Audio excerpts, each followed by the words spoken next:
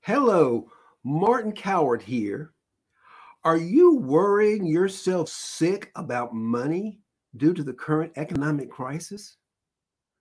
Some people are feeling terrorized right now about money. And our leaders are being are facing some really really tough decisions right now. Which is more important? To protect our lives or to protect our pocketbooks? For me the choice is simple I'm in, always in favor of protecting life over property. We can rebuild the economy as long as we're alive to do it. There won't be anything or anyone to rebuild if we're dead. So I'm choosing human life foremost as our top priority, and I'm supporting those leaders who share my values. Many of us worried about money long before COVID 19. It's just made things more amplified. And I spent most of my life worrying about money. In 27 in 2017, I worried myself into an obsession around money and I almost went bankrupt. Until one day until one day, deep inside one of my pity parties, feeling all sorry for myself, I realized that all this fear, doubt, and worry was nothing more than an old story I was telling myself.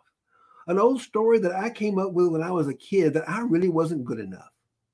That there wasn't enough of there wasn't enough of the pie for me. There's only so much money to go around, and it certainly wasn't enough for me.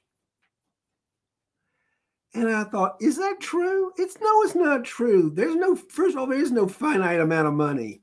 There are no finite resources world. God did not make a universe of finite resources. There is an abundance of resources to create a magnificent planet. And once I realized the truth and the absurdity of my old story of God or whatever you want to call it, creating a universe of lack, it seemed almost ridiculous. So I began to reframe that story and tell a story that's a lot truer.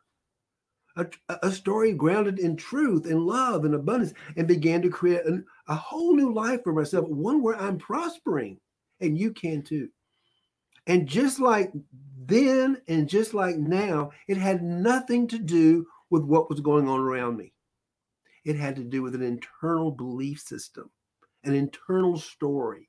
That's where the worrying came from. And the strangest thing happened once I started worrying, stopped worrying, and started telling a truer story, the money began to appear.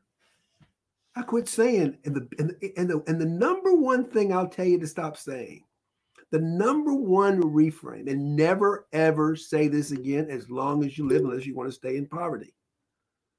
If you want to live in prosperity, stop saying, I can't afford it.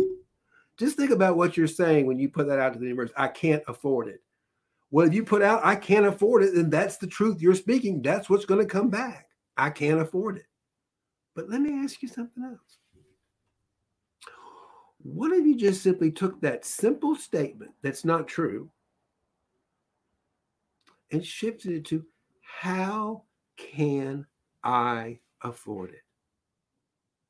How can I afford it? If something comes up across your and you want to purchase it, ask yourself, how can I afford it?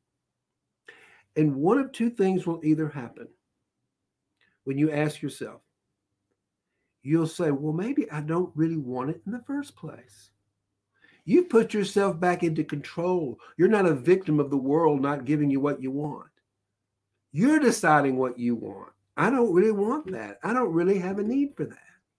So you can just let it go, quit worrying about it. Or if it's a real heart's desire, if it's something that from the heart that you really want, you're going to be surprised. You're going to be surprised and how it will show up. Because you've aligned yourself up with the creative force of the universe. That's what Napoleon Hill called infinite intelligence.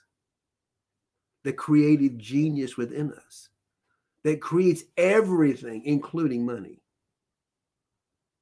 So all we need to do is just reframe out of an old story that's not true. It's a lie. It makes us feel bad about ourselves and reframe it into a new story. And the most important reframing in there is never ever say, I can't afford it again, unless you want to continue to live in poverty. If you want to live in, if you want to move and shift into prosperity, change that simple statement to, How can I afford it. May love and prosperity prevail. Thank you. I am Martin Coward, the founder of Financial Heart Space. I'm a prosperity coach and financial planner. Thank you so much for listening. I hope this helps.